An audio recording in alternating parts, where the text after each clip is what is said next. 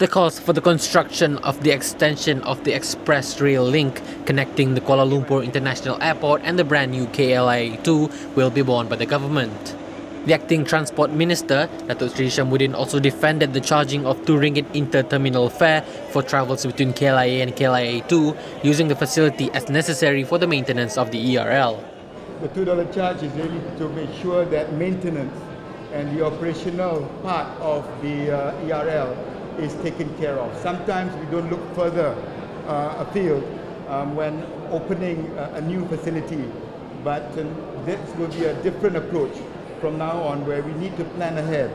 And a facility of this nature should be something that we can uh, pass on to future generations. So I hope we institutionalize it and all aspects of making sure that we can pass it on to many, many generations in the future has been taken into account now and not 10, 20, 30 years from now. Hishammuddin said at the press conference after opening the ERL station at KLIA2 in Sepang on Wednesday. Although a minimal inter-terminal fee is charged for ERL travels between KLIA and KLIA2, the fares connecting KLIA2 and other ERL stations are the same as that charged on travels between those stations at KLIA. The 2.14 ERL extension between KLIA and KLIA2 will terminate at the KLIA2 Gateway Complex, which adjoins the main terminal building of the KLIA2. On the issue of safety, Hishammuddin reiterates that the KLIA2 has received the necessary accreditation to ensure that the building is fit for public use. Today, one.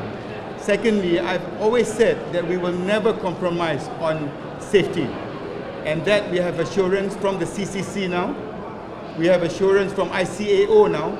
We have independent reports being done by consultants. We have independent local consultants that have done reports. I don't know what else we can do uh, to uh, convince the public that uh, KLIA2 is safe to operate.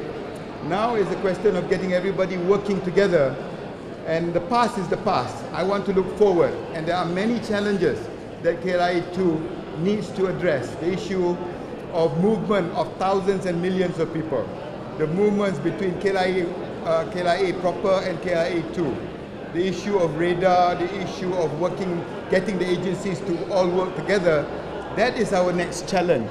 So I'm not looking backwards, I'm looking forward. The new terminal is set to open its doors to the public on May 2nd, with the first aircraft to arrive at KLIA2 expected to land at 12.05 am from Kota Kinabalu. The current low-cost carrier terminal will cease operations on May 9.